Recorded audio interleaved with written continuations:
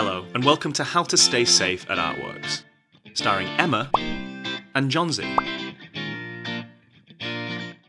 Upon arriving to Artworks, everyone needs to queue up two metres apart outside of the building. Wait to be called forwards and then stand on the dotted line.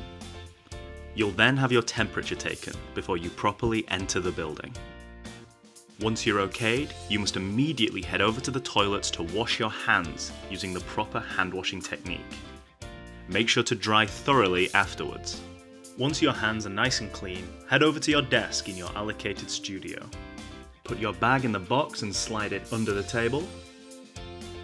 And hang your coat on the back of your chair. You'll find your visor waiting for you on your table. To put it on, slide it over your head and secure the elastic firmly at the back. In order to keep everyone safe, we're going to be maintaining social distancing at all times. Marked areas on the floor showing where you can and can't go will help you social distance.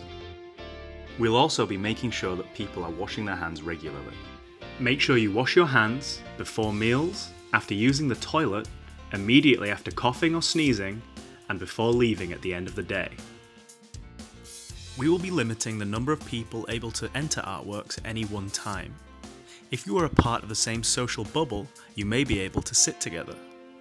Also, no close contact. This includes hugging, high fives, and handshakes. Make sure you bring your own food and drink from home in a lunchbox and bottle.